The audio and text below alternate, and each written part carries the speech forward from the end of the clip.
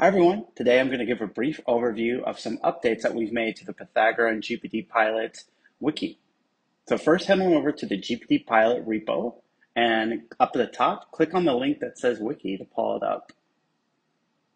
Once the wiki loads, you'll see an overview section that gives a brief explanation on the differences between Pythagora, which is our VS Code extension, and GPT Pilot, which is the open source underlying technology that powers Pythagora. Next, in the Getting Started section, you'll see an explanation of Pythagora Pro, which is our paid version and why you might want to use it, and then also an explanation of GPT Pilot and why you might want to use the open source version of the code.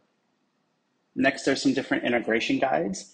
Um, first for Pythagora and how to get it integrated and up and running. And then next, there's some integration guides for GPT Pilot and specifically, there's some different guides on the different LLMs, such as if you want to use GPT Pilot with OpenAI, Anthropic, or even a local LLM.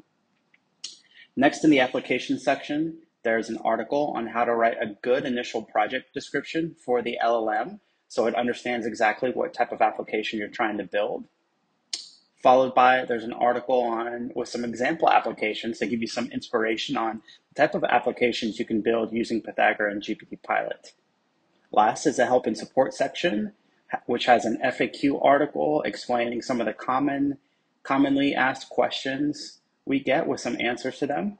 And then last, is a link to our Discord server. So if you have any questions, if you have any bug, bugs that you've encountered, any feedback you want to provide, or simply have any feature requests, hop on over to the Discord server and let us know, interact with the community.